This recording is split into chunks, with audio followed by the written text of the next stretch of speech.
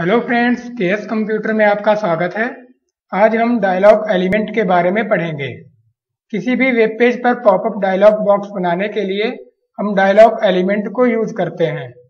Dialogue tag HTML5 में नया आया है। यह टैग डायलॉग बॉक्स को रिप्रेजेंट करता है।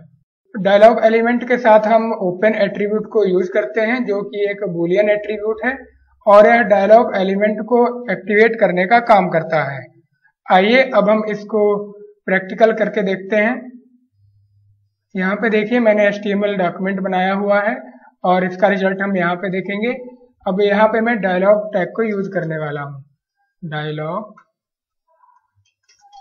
और यहाँ डायलॉग क्लोज करते हैं इस तरीके से। और यहाँ पे हम बीच में अपना एक मैसेज लिख देते हैं। This is an open dialog window इसको सेव करते हैं रिफ्रेश करते हैं। देखिए, अभी इसमें कुछ भी नहीं आया है। अभी हमें यहाँ पे ओपन एट्रीब्यूट को यूज़ करना पड़ेगा। ओपन इसको सेव करते हैं रिफ्रेश करते हैं। यहाँ पे देखिए, ये डायलॉग बॉक्स आ गया है इस तरीके से। यहाँ पे हमें ओपन एट्रीब्यूट को यूज़ करना पड़ता है, क्योंकि डायलॉग जो होता है, ये बाय डिफ़ॉल्ट क्लोज होता है। ओपन को यूज़ करके हम इसको एक्टिवेट कर सकते हैं। आज के इस वीडियो में केवल इतना ही। मिलते हैं अगले वीडियो में किसी नए एलिमेंट के साथ। तब तक के लिए बाय।